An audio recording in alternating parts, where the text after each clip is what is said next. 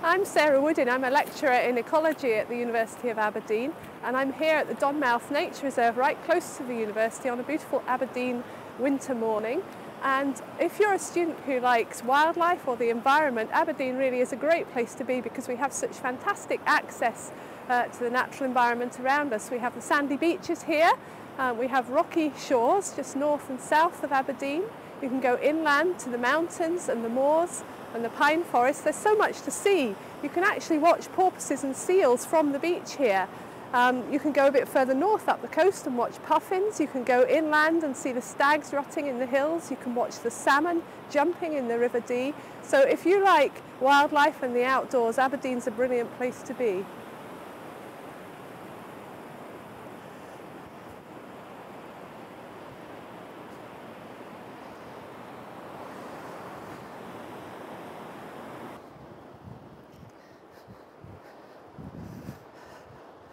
Course, we try to make the best use we can of our local environment in our teaching and we have a real emphasis on ecology and conservation and the environment.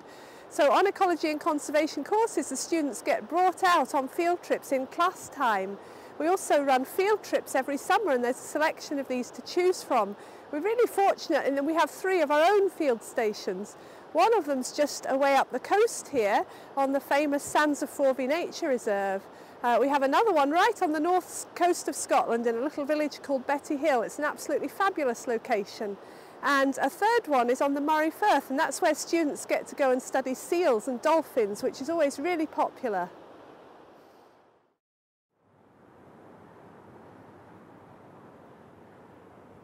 A really important feature of biological sciences at Aberdeen is that many of the academic staff are very actively involved in field research, both in Scotland and overseas, and this really influences what we teach the students. So in Scotland, for example, we have folk working on water voles in the mountains, we have folk working on marine food webs, we have people working on rare plants, people working on the effects of climate change, you name it, there's someone from biological sciences in Aberdeen out there doing it, not just in Scotland, but in the Arctic and the tropics as well. And that's really important for the flavour of the teaching we offer at Aberdeen. We also really encourage students to get involved. And every summer, quite a number of students are field assistants for us in our field projects and get the opportunity to work alongside us in Scotland and in the tropics and in the Arctic which is great for us and really good experience for the students. Students in Aberdeen get the opportunity to do their own research project in the final year of their degree and many of them choose to do field-based projects. Uh, for example, I'm a plant ecologist and I work in the Arctic and the Scottish mountains and this year I've had one student working over on the west coast of Scotland, uh, one working closer to Aberdeen looking at forest regeneration I had one student on Spitsbergen in the high Arctic looking at geese on the tundra and another one in subarctic Sweden looking at climate change issues.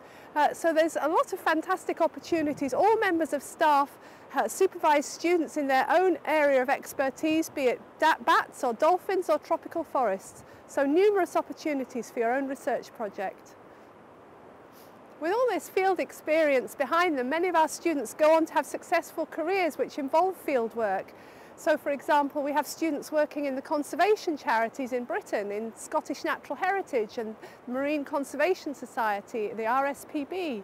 Um, other students go and work in international conservation projects in developing countries. We have students, ex-students, working in field centres in Britain and outdoor education centres. Many of them go on to do environmental consultancy. And every year some of them will go on for a career in research, researching wildlife and, the, and the environment in Scotland and abroad.